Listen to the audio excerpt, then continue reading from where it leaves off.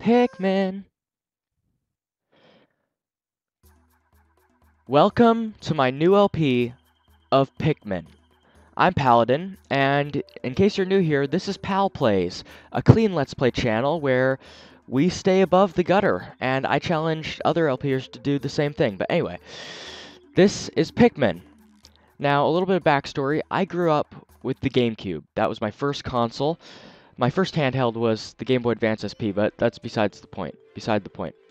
So I grew up with Pikmin 2, actually, and a year or two later after I first got Pikmin 2 for my birthday, I got Pikmin 1. I was thinking that would be the same nice, lax game. I mean, it's real-time strategy, but it's nothing too hard. But I was, I was surprised when I started playing Pikmin 1 as my eight-year-old self, or nine, however old I was then.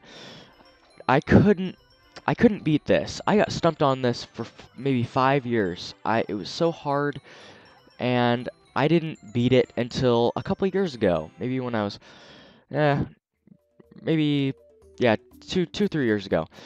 So anyway, I'm going to show it to you guys now that I can beat the game, and now I'm now that I'm good at video games. Let's go ahead and jump on in. This is my second LP. Now, Skyward Sword is still going, that is not cancelled, but this will be running alongside of it. So anyway, let's create some save files here. So it's been created. Now, this this is a GameCube this is a GameCube game, so the graphics are not going to be fantastic. However, they're pretty good for GameCube standards, especially this early of GameCube game. You know, this is a very early GameCube game. Anyway, I'll shut up for the cutscene.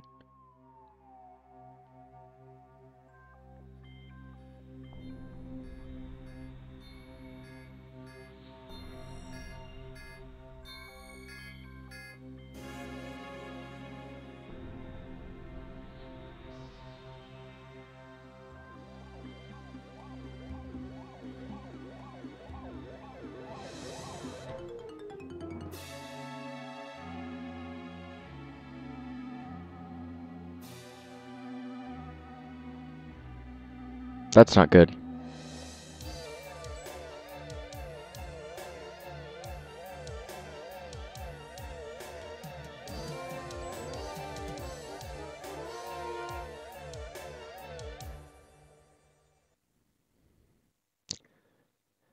And the person we just saw is dead. Well, that was Pikmin, that was Pikmin 1, everybody. I hope you liked his- oh, he's alive, okay. Miraculously, he was alive. It looks like he was thrown clear, clear of the hull of the ship, or what's left of it. Anyway, he's going to talk. My name is Captain Olimar. While traveling through space, my ship was struck by a meteor. I must have blacked out, and I awoke on the surface of, the, of a weird planet. With so many parts lost, the skeletal hull of my beloved dolphin is a painful sight. The engine is gone, and I'm stranded. To make matters worse, my, at at my atmospheric sensors indicate this planet's environment contains high levels of poisonous oxygen. My life support systems can function for only 30 days. If I can't repair the dolphin by then... No! Better not to think about it. I must find the missing ship parts. So, they just throw us right in the game. Now, first of all, first of all, you will notice that the camera is really, really close to Captain Olimar. Look how close this is. You cannot see anything. Now, don't worry, the whole game will not be spent like this. And as you can also see, I am playing with the GameCube version because this is my first copy of the game, and I don't know, what I've seen people do LPs of this, and it was the Wii version. I just want to show you guys what the original version was like. Now, to explain the buttons, um, A is apparently punch, as you can see here or headbutt, whatever it is he's doing. It looks like his head has more range than his hand, so anyway. And he looks like he's also karate chopping. X blows a whistle, which we don't know what that does yet. Y opens up a menu, which has some stuff that is kind of spoilers, but it won't be spoilers for long. It also has the controls, which are very helpful. Um, also, you can kind of see this whole thing as spoilers. So I'll actually close this for now until we discover whatever it is Oh, there it is. We'll approach a strange plant, and it will uproot in front of us and send out a single seed. A strange thing has appeared before me. I had barely begun my search when it reared up as if it were waiting for me. It then dropped a single seed. What is it? Is it alive? Is it a machine? It resembles a vegetable on my home planet that we call an onion. I shall call this an onion too. And the camera zooms out and we get some controls. Now, R changes the camera. There are three tiers, as it were, of, of camera zoom. That is close up, which is what we started out with. And then a little bit further out, and then really far out. So, there's that. Also, you can press L to center the camera behind you, which is very useful. You can also... Oh, I guess you can't. You can rapidly tap it to constantly center it behind you, which I find very useful. I believe in Pikmin 2 you can actually, uh, you can actually hold it down, and it will do the same thing. So anyway, we'll see a Pikmin. Oop, I shouldn't have said that. Sorry. I need I need to get used to this whole spoilers thing. The seed that the onion, onion dropped took root in the soil and, and has now produced an adorable little sprout. Sp this sprout emits a strange light, and it sways back and forth without benefit of wind. I cannot help but, but think it is calling to me. I am compelled. I must approach it and press A! So apparently Olimar controls his body. Maybe Olimar... Okay, wait. Let me zoom in. Maybe Olimar is not actually a being in a suit. Maybe he is a a being inside the Olimar body that's inside of a suit. Sort of like in uh, Men in Black, he's like a little cat creature demon spawn thing in, in the head that has a remote control that's controlling the body. Maybe that's it.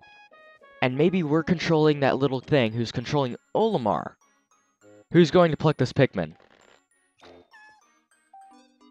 And we'll see a strange creature, which I spoiled before, but hey, this game is called Pikmin, so, you know, it's, it's already spoilers. Extraordinary! Most excellent! When I plucked the spr this sprout, it turned out to be a living creature, not a plant. Picking it has done no visible damage, it just stands there, staring back at me. Its shape is similar to the Pikpik brand carrots I love so much. I believe I shall call it a Pikmin. Here I am, stranded on a toxic planet, fighting to survive, and yet I am intrigued. I must research this, this fascinating creature. I shall try to grab it and throw it with A. Then I will call it back to my side with B. Hmm. Perhaps it will react to C and X as well. The following controls seem to allow me to, to uh, allow me several viewpoints. Um, R rotates camera. Oh, so you can hold it to follow the cursor. Okay. Z R zooms in and out, as I said. Oh, and I didn't go over Z. Z changes the angle. I'll show you show you that in a second. I must survive. I need to familiarize myself with these controls and my surroundings. So, we'll zoom out, and then if you press Z, you'll get an overhead StarCraft view, which I don't use too much because it doesn't really get you much perspective. I like this, um, I like this helicopter view thing. So, okay, it's not holding R, uh, holding L does not continue to center it around the cursor. So I'm not sure if that's a glitch. Uh, anyway, okay, so we see this th thing. We also get a cutscene that I don't even remember. What does this Pikmin think of me? I must observe its reactions. The more things I try, the more reactions I can catalog. I shall attempt to grab and throw it with... Oh, okay. So he just says the same thing for we stay too long. So let's go ahead and throw it. It'll take me a while to familiarize myself with the controls. So C, C stick does not control the camera, like the individual, you know, the angles. So let's see what C stick does with the Pikmin once we have enough. Astonishing! The onion has grown has sown more seeds. The small red pellet the Pikmin has harvested after cutting down a flower seems to be some kind of food that can propagate more Pikmin. An onion seems to be some sort of incubator. Needless to say, I must study this, this strange life form more. Now, once we get enough Pikmin, I'll see what the C-Stick does, because it doesn't seem to do anything right now. So we'll go ahead and pluck those Pikmin. We, you have to keep tapping A for Olimar to go from sprout to sprout. Also, it zoomed in when I plucked the Pikmin, which is strange. Okay, so there, this one has five on it. We'll zoom in a little bit. And so it looks like the five um, indicates how many Pikmin can carry it. So this one has one, so one can carry it. Now, I should explain these things instead of acting as if this is my first time playing through the game. Okay, um, pick more Pikmin than, than is necessary can carry a pellet. Watch. See, two Pikmin can carry it now. And instead of acting all mysterious and saying, I wonder what the C-Stick does, okay, it will direct Pikmin. Like so. I'm pointing it down and he'll move down. I point it to the left, he'll go left. So if we do that next to this pellet posy, they will automatically start to attack it. So you can use this to swarm objects or enemies, which we haven't seen yet, but they do exist. Now, I I never really liked the um the zoomed in the uh all the way zoomed out camera angle because when I was younger, I had an old, I had a CRT which is smaller, so doing this was actually really far away and you could barely see anything. So I may find myself just doing this most of the time. They'll try to keep it uh, the furthest point away. This is really weird. Um, so that you guys can see everything. Now, I'm going to be messing up a little bit. Now, while I have grown up with Pikmin, lately I've been playing Pikmin, uh, Pikmin 3, which basically the C-Stick does the camera in that game. So I might be doing the C-Stick to do the camera. Also, I may be using R to uh, try and whistle because that's sort of what it is in Pikmin 3. So, excuse me if I make a couple mistakes. So, anyway, now that we have five, five red leaf Pikmin, we can throw five of them on this pellet. Now, I already demonstrated that more than um, more than what is needed can carry the pellet, and that will allow it to go faster. But um, also, I haven't explained yet the numbers on the bottom of the screen. You probably are wondering what those are, unless you are sm are smart and have figured it out already. If you haven't figured it out, don't worry, you're not dumb. You just haven't played the game before. Anyway, so the far left number the one that currently says 4 and now says 9, that is how many Pikmin we have with us. So if we throw one, it'll go down. Now, the middle number of the three is how many Pikmin total we have on the field or in the area, basically out of the onion. Now, the number on the right, the far right, also, I'll explain something in a second. On the far right is how many are they, that is the number of Pikmin total in existence, or how many Pikmin we have total in existence. So, get up. Sheesh. Get up! Okay, you guys are really trying my patience for calling you what red Pikmin are called. One, one more fall within this episode, and I'm calling you what you are. Okay. Don't tempt me. Okay, anyway. So, the reason why I kept plucking those Pikmin and not plucking anymore is because you have to tap the A button to continuously pluck Pikmin. Now, I'm used to Pikmin 3 where if you just tap A once, it'll pick all, it'll uh, automatically pick all of the Pikmin for you, so that's another mistake I'll be making. Now, I accidentally did this because I was trying to change the camera angle with the C-stick, and I accidentally pushed that box. It says 10 on it, so you need 10 Pikmin to push the box into place, allowing you to get more pellets. The Pikmin are as curious as children. They form, they form groups and perform tasks that would be impossible for an individual. A glimmer of, of hope has begun to shine in my heart. If I can make use of their skills, perhaps I can fix my ship. I shall sum up all, of all I have learned in of Pikmin conduct. Approach and press A to pick up sprouts. Press A to grab Pikmin. Press uh, release it to throw them. Press B to call them. X to dismiss. I haven't shown that yet. Use C to command and control the group. L, R, and Z control perspective. I shall record all of this in my computer. I can press Y to, to access the computer, which is what we did before we even got the onion. Also, I just tried to whistle with R, and I also tried to change the camera with C. So you can tell I'm going to be making many mistakes. Also, if my voice sounds a little bit raspy and tired, it's because uh, my allergies kind of have given me a sore throat. So, it's not too bad, just a little bit scratchy. So if I sound weird, then that's why. So anyway, this moving piece is not an enemy, even though it kind of looks like an enemy. It is a treasure, or not a treasure, it's a ship part, which is what he'll say here. Amazing! There's no mistaking it. My ship's engine rests before my very eyes. By a stroke of purest luck, I have already stumbled uh, upon the most important piece of my damaged craft. Fate has smiled upon me, but how will I get it back to the dolphin? So, let's try throwing a Pikmin. Okay, it, it, we have one of 20. Oh, I didn't explain that either. The top number is how many Pikmin you need to carry it. The bottom number is how many Pikmin are trying to carry it. So obviously, by looking at the bottom left number on the screen, we see that we only have 14 Pikmin, so we need to get some more before we can carry the part. So there are some pellet posies up here. So let's go and throw Pikmin onto them. One, two, three, four, five, and one. Any more?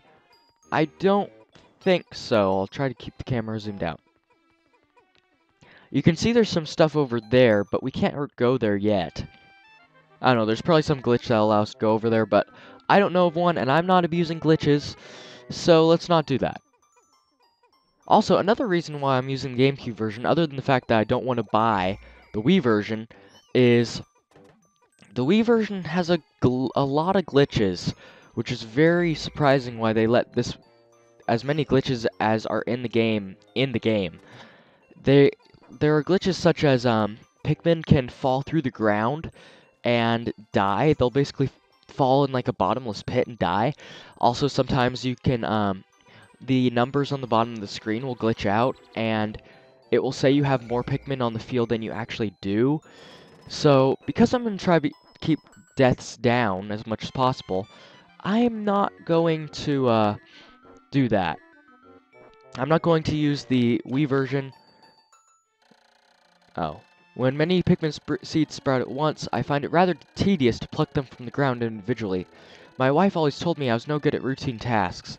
I guess I'll have to I'll try to get it all done at once by repeatedly tapping A until I pick all the Pikmin from the ground. I've noticed that when I add Pikmin to my group, they become filled with excitement and flushed with bright color. At other times, they revert to a paler hue and give us off a dim glow.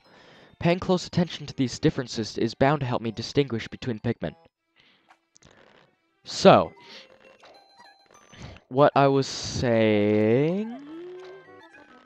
Oh, yeah, yeah, glitches. So, I, I want to keep deaths down as much as possible, and I don't want to be having glitch deaths, so I won't be using that version.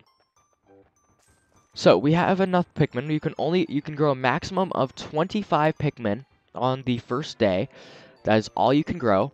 And also, um, this Pikmin days have a time limit, but that is not a factor on the first day. You have an unlimited amount of time to do everything, which is just the game designers giving you a, they're just being kind so that, you know, you don't end up messing up. Also, why did you pick that up? I didn't even tell you to do that. I didn't touch the C-stick at all. Anyway, let's swarm this and have as many Pikmin as we can carry it. It'll go faster that way. Also, that that doesn't really look like the rim of this looks almost some, like something the N64 could render. However, uh, this is GameCube game, so my guess is that they made this very early on in the design. Like, look at that, it's straight up polygon. Whereas this, these leaves, actually look quite good. This game is a very good looking game for, for early Wii, as I said er earlier before. So anyway, you want to save this for the last until you've gotten all your pick all the Pikmin that you can, because once you bring this back, you won't be able to get any more Pikmin today. You'll see why.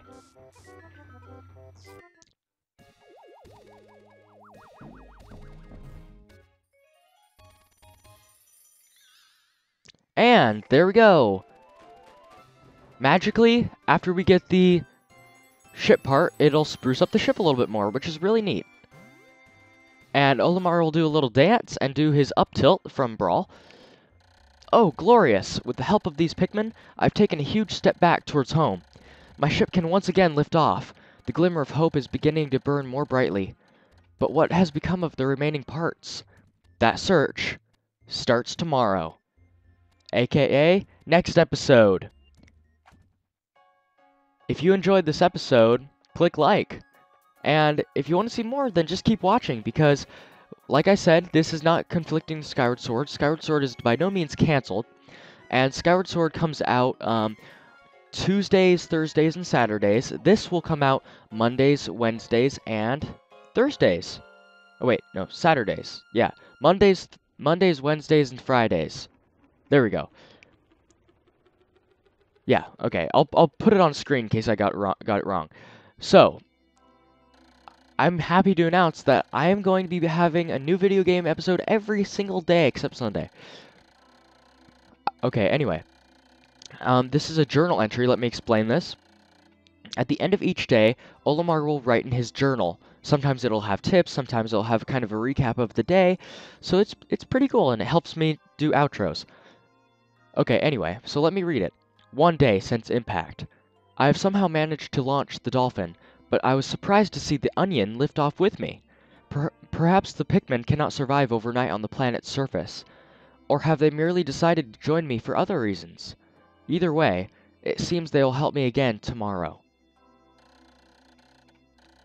The Dolphin is missing 29 ship parts. If I can't recover them all, I may never return home to my family on planet Hocotate. Analysis indicates life, life support systems will function for only 29 more days. How can I repair my dolphin in such a short time? A dense forest is visible on the surface below. As it holds the keys to my survival, I name it the Forest of Hope. I will explore it tomorrow. See you guys then.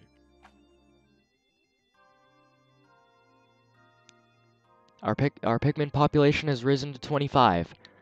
We have 29 parts. I mean, so we have 29 parts remaining. And we have 29 days remaining. See you guys then.